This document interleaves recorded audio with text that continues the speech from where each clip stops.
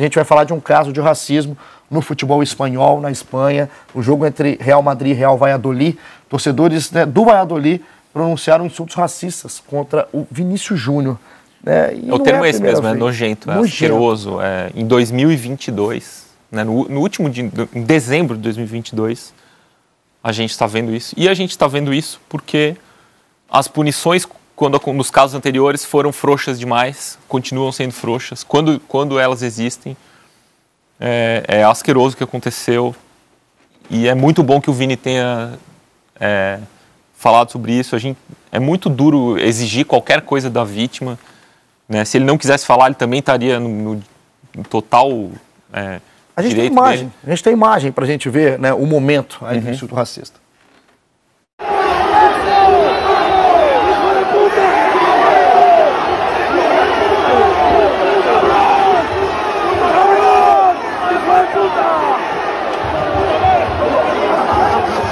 As imagens estão aí, é muito claro para quem quer ver, e você falava do Vinícius posicionando, né, através uhum. do seu perfil oficial lá no Twitter, a gente também vai mostrar para você, porque o Vini, inclusive, vem se destacando por excelentes posicionamentos. Excelentes. Né? Não é o primeiro excelentes. posicionamento do Vinícius excelentes. sobre o caso. Né? Já teve um também espetacular em vídeo, ele foi às redes sociais, que os racistas seguem indo aos estádios, assistindo ao maior clube do mundo de perto, e a La Liga, ele marcou né, o perfil uhum. oficial da La Liga, segue sem fazer nada, seguirei de cabeça erguida e comemorando as minhas vitórias. E do Madrid no final, a culpa é minha, aspas, aí pro Vinícius, que teve resposta. E, ainda, e, e ele é tão é, grandioso assim que ainda publica uma foto sorrindo, né? Impressionante, é, cumprimentando ali o é, boleiro, né, o Gandulinho, ali naquele momento. Teve resposta né, oficial aí né, da La Liga, do presidente da La Liga na sua pessoa que está analisando imagens para denunciar insultos racistas. E é, a gente é, vê essa questão da nota oficial. Inclusive, é o presidente né, da Liga, a Confederação Espanhola de Futebol, o Javier Tebas Medrano, falou que é, o Vini é, foi muito infeliz, é injusto por falar isso da La Liga, porque todo mundo está trabalhando à disposição para que é, caminhe na mesma direção.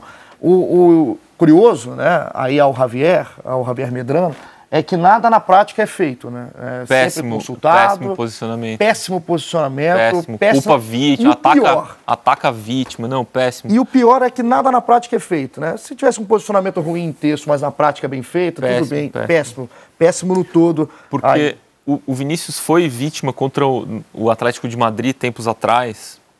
É, e o que aconteceu nesse caso? O Atlético de Madrid suspendeu três torcedores. Tinha uma multidão é, insultando o Vinícius.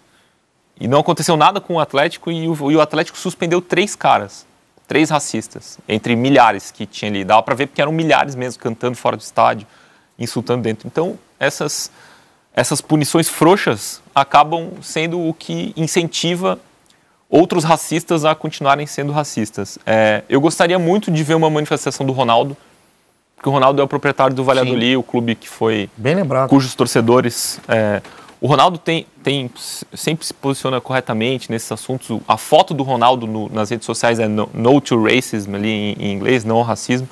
Seria, seria bom se o, se o Ronaldo se manifestasse e se pudesse fazer algo a respeito dos torcedores do clube que ele é presidente.